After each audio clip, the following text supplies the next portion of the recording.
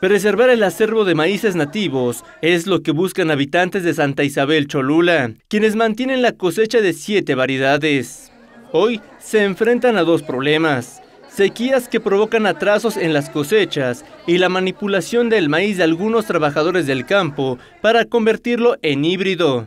En cuanto a la contaminación que amenaza a nuestros cultivos, puede ser que muchas veces algunos, algunos compañeros ya no están cosechando maíces nativos, están eh, sembrando maíces híbridos, entonces lo cual representa a través de la polinización una contaminación de nuestro germoplasma.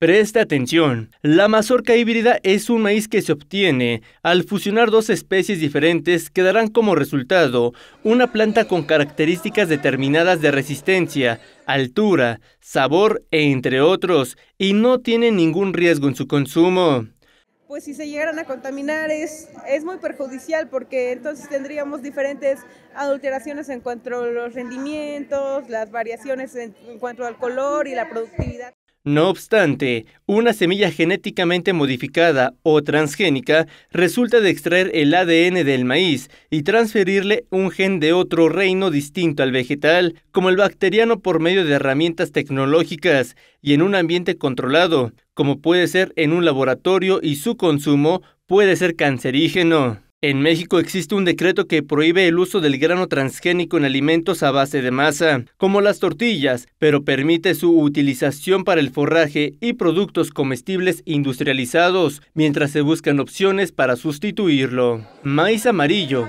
azul, tres variedades de rojo, pozolero, blanco, palomero y naranja son las variedades que se producen en Santa Isabel Cholula. En las imágenes, Aurelio Martínez. Para Set Noticias, David Portillo.